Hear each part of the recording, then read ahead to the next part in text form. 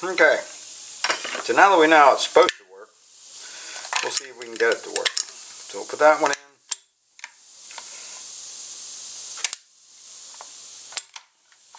Bring ourselves up. We got another one.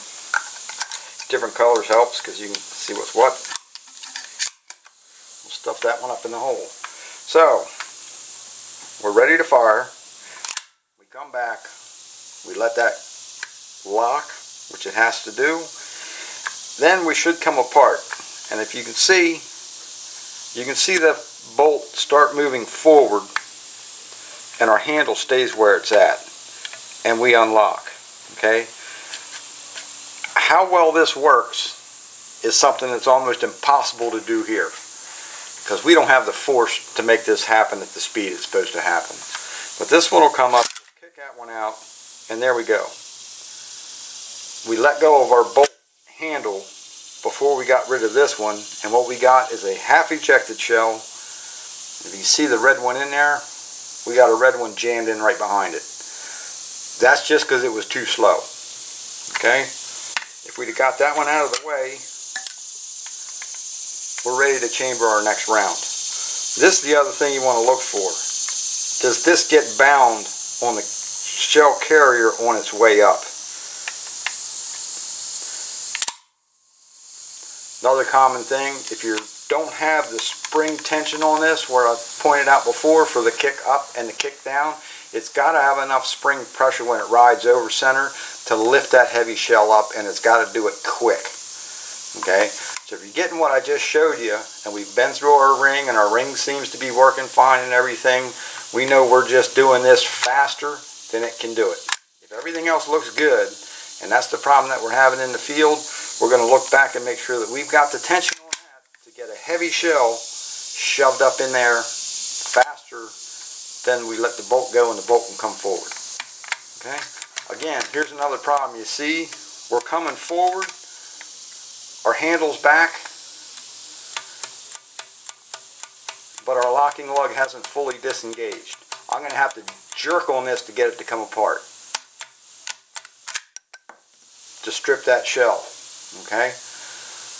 That's the main problem with this gun.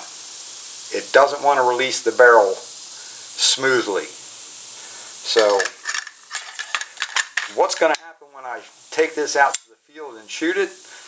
I've got a massive spring shoving this barrel forward. That barrel's coming forward. It don't care. One way or another, that barrel's coming forward. If I don't unlock my bolt, it's going to pull that bolt forward. We got a big hunk of iron sticking through this hole. Okay?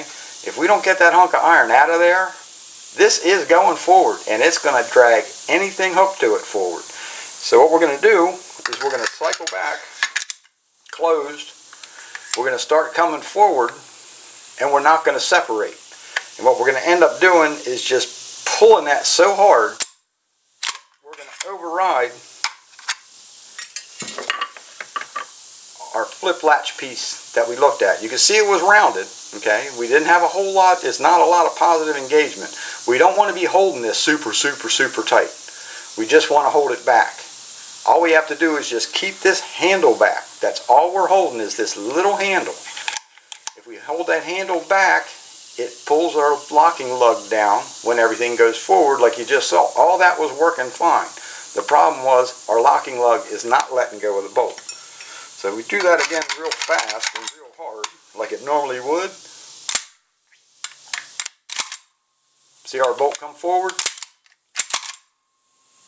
Alright, we're pulling our bolt.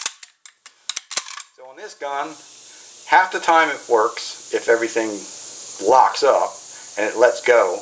And half the time this just comes forward. I've got my spent case still in the barrel. So when I pull my handle I got a spent case sitting here, and I've got a loaded case sitting down here on my carrier. Okay. That's one of the things that make these, when they get this worn, it's not cost effective to repair them because the amount of time that I put in redoing the ejector, redoing the extractor, checking the timing and all this, it's, it's the gun's not worth that amount of money. That's the other reason I'm making this to give you guys an idea of what to look for that if you do want to call me, gentleman sent me this, he's an older gentleman, he wants to pass it down to his grandkids, I got a soft spot for that, so I like guns being handed down, my father gave me my his guns, I'll give them to my son, blah, blah, blah, blah. So, I get the video out of this, which is one thing, which gets to help all you. He's eventually going to get a working gun that he can hand down to his son. And don't try and fool me and say you want to give it to your kids and all this, because I'll know. Guns tell you a lot about the person. Now see, I can tell this guy, one thing he's married. How do you know that? Look at the ring finger side. See all the scratches and cuts and dents? That's from his ring finger running across there from his wedding ring. He also did a lot of ground shooting because he held so far back instead of farther forward. So I know he shot a lot of small game. I also know that by the barrel. We have a small bulge right here that's because, like I yell at my son, we carried it with the barrel down. We stuffed it when we got dirt stuffed in the end of it. And luckily for him, it blew the dirt out of the end of the barrel before it blew and totally split the whole thing. Plus just the wear on it. It's got a lot of wear on it. So, But, for what is the actual problem with this, and I'm not going to go into this in great detail because this is one of the parts is why I don't do trigger jobs and things like that. Uh, you need to know what you're doing and this is someplace on the bolt that we're really going to poke and prod around. This is the easiest way to totally destroy your gun. All the things I've showed you so far are cheap and mostly available because whether it's a 300 or 900 uh, a blowback recoil operated like this or it's gas operated a lot of these parts for the most part are, are still readily available. So if you go filing too much on this, it ain't no big deal. $15 you can buy another one. If you screw up your shell holder, you know, $10, $12, it's no big deal. If you overfile your, if you have the riveted ejector and you, you mess with it and overfile it, it's just knock two rivets out, put two rivets in. So all these are things that you can do. They're relatively inexpensive. The things that are hard to get, filing on this, you want to be extremely careful if you do that. And do not ever, ever, ever try and bend this. If you think it needs to be up higher or whatever, what you need to do is work these pieces down here. Okay, you're going to file that to get more lift if you're not lifting your shell all the way up. You're going to work on the front here if you're not coming all the way down and your shell's hitting the front of the carrier instead of riding up on top of the carrier. These have a lot of free swing in them in the gun, so it's not as big a problem as, as others. But these parts are hard to get, and it's hard to get one that's not completely worn out. If you go buy used stuff, most of these guns are old. You can end up one that's as worn out as the one that you had. Okay.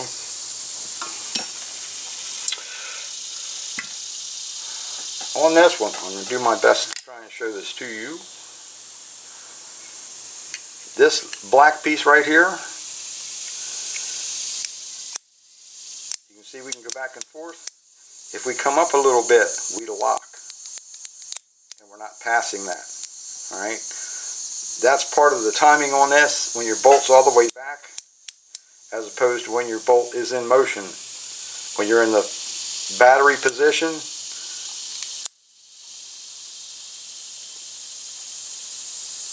this is pretty this is going to be at the point where it wants to hold the two together is the best I can explain it to you what locks it are these little fingers right here and you'll see when I pull that back There's two little lips right here, and there's two little lips right there. Work just like a sear. Okay. So what's happening with this one is when we come all the way back with our barrel, and we hold that lever and we start moving forward, we're not disengaging that all the way. So when our big massive, when our shell comes back and hits the release, and we let go of our handle piece, actually we're not even doing that at this point. We're, with our single eh, with our single shot empty shell tube, when this comes back, we don't have enough engagement between our holding part here to our handle because we've got an 800 pound spring that's bringing that barrel and everything else forward.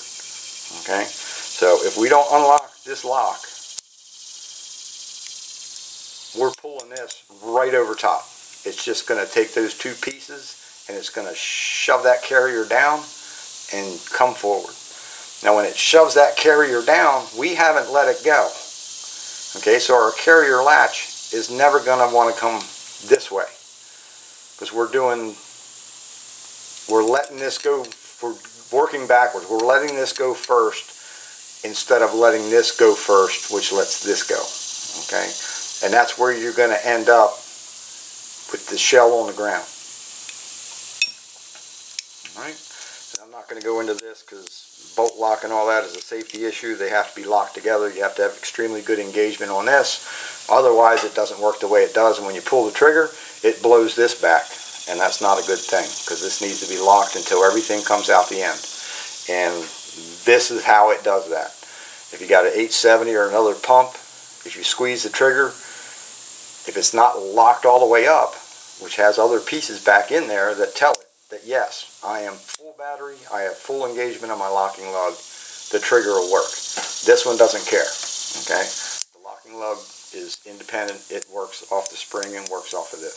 So if you mess that up, you can make an extremely dangerous gun that you're going to end up with a lot of little pieces of brass coming out the side of the ejection port. And you won't have to worry about does it eject anymore or not because it's going to do it once or twice and you'll be done. Alright, so that's pretty much all I got. Hope that covered everything and gave you a, pretty good indication of what to look for. I'm going to do a quick recap on our diagnostic steps. Alright, so we're going to recap every, we know how everything works. So now what we got to do is figure out what's not working and why it's not working. Which of course this is the, the heart of this whole video. Okay, so the first thing in our diagnostic we're going to do, no shell in our tube, single chambered shell, fire it and see what we have. Question number one, does our bolt lock back? Okay, if it doesn't, we know we need to look in this area and make sure that we're holding our shell carrier down and we have enough grip to hold our handle back and we're disengaging our locking lug. Okay, any of those three is going to make either this let go or the barrel come forward. Alright, if we didn't kick our shell out and it's just flopping around in there, we don't we don't have enough good good enough hold with our extractor or we're not hitting it or we have a worn ejector to where we don't have that nice positive kick coming out. Much more common on these than the ones that have the two because the two extractors pinch it and kind of hold it. If that's the case, are we holding this one so tight that when our ejector hits the end of the case, all we're doing is pushing everything out of the way and we're just riding right on by. Okay. Usually if that happens, we're just going to rechamber the empty shell. Alright, so if we shoot a single one and everything comes forward, everything looks good, but we just have a loose shell in there, we're going to look at these pieces. Alright, our second thing is we're going to put a shell in our tube. We're going to chamber a shell because now we're going to enact how this should all work to let everything go, to find out are we too fast, too slow, whatever. The three options we're going to get is a sideways shell with a shell sitting underneath it. That tells us pretty much everything wanted to work. We properly let go of a shell, we let go, everything came forward, we just didn't get this one out of the way fast enough. So we're either not hitting it hard enough to get it out. Again, for this, turn the gun that way. Let gravity help you get this out. Shoot two or three, spin this around. If you hold the gun down like that and it works great, we're not kicking it hard enough, fast enough to get it out. Change our ring. Slow everything down. Give us a little more time to get this out of there. Okay. The other thing is the timing of the lift. Uh, how tight we have it, what we have on this, are we letting that go too early, blah, blah, blah. Uh, it's kind of, you just need to look at it. You need to think about how it works and find out what it's doing. The other is we end up with a shell smashed like that. The million dollar question again, did we dispense a shell out of here? Okay, if we did, and we got one jammed on top of the other, we're usually either going to rechamber this, our empty shell, and we're going to have one on our carrier, or we're going to wedge this one in there sideways like this and smash the front of it, okay, and we'll have one underneath. in that case, when you pull the bolt back, get this one out of there, we want to look and see where our shell down in the bottom is. Okay, we might be doing everything perfect for trying to get this one out of the hole, but we're letting this one go too early and it's coming back and letting everything go before we have time to get this out. Alright, if we're not holding that shell up in this tube until the barrel lets it go, and a lot of time that is surge. Every time you shoot it, all of these are going to move up the tube when you recoil and then they're going to come back down. If we don't have a good enough bite on this lip to stop it, it's going to jump forward a little bit, it's going to come back, it's going to ride right over top of that, and it's going to come right out while we're coming back. So as soon as we come back, we've already got this shoved in there. When we come back, it's going to let it go. This is going to immediately pop up before we have a chance to kick that other one out. Okay? So that's the reason that you want to start with nothing in here. We want to make sure that we got this working, this is working right. Then we're going to put a shell in it and we're going to find out what are we doing. Okay? We're either coming out too fast, we're coming up too high, or we're jamming this one, or everything's just working too fast. You can flip that ring, and again, as these wear, it makes less and less difference on that ring. So you're going to have to figure out, does everything work right? We're just going too fast. You're going to need a new friction ring. Okay? It takes a long time for those to wear down to the point that they really don't do anything, and it's not, don't squeeze it in a vise or something to try and get more friction. That's just not going to work. It's going to make it drag so slow. the other thing is short cycle while we're on here. if we have too much drag on that and a light shell, we're not going to have enough to bring everything back to where it's supposed to work. Okay, but we're still going to snap the fingers on our release. So as long as our barrel passes that, when it comes back, it's going to let go of that shell. So if we're short cycling, we're going to put our empty back in and we're going to have a shell on our carrier jammed against the bottom of the barrel.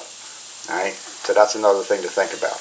If it's if you do a single shell and everything goes thunk thunk and you've looked at all this and it looks good and you stand here on the bench and you do it by hand and everything locks and everything works fine, it's short cycling, it's not coming all the way back far enough for that to override and grab the bolt. Alright, I hope that helps y'all. I hope y'all enjoyed this. Uh, mainly give you a little more information. You know, if it's something simple, you can mail it to me and I'll fix it. I, I generally don't do that a whole lot, but I, I will in certain cases. Uh, but it helps me greatly if you can give me a, a previous idea when I talk to you or you email me or send a comment, you don't say it, it doesn't eject or it doesn't load the next shell. At least if you watch this, you can tell me it doesn't eject, it's at 45 degrees, I've got a shell on the carrier, blah, blah, blah. Gives me a better idea of, of what's coming and whether it's going to be worth fixing or not. Okay, thanks so much for watching, and see you soon.